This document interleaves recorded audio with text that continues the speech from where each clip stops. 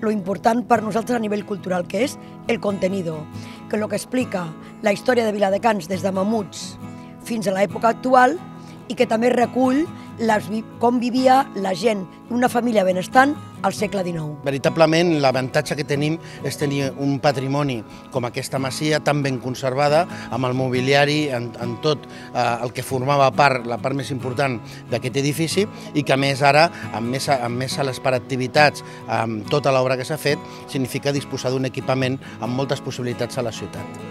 A mí me ha encantado, ha sido guapísimo porque te da una visión de cómo era Vila de Cans antes, como es ahora. Me ha encantado, muy chulo. Ver la casa como es, cómo han vivido aquí varias generaciones, muy bonito, muy bonito, de verdad.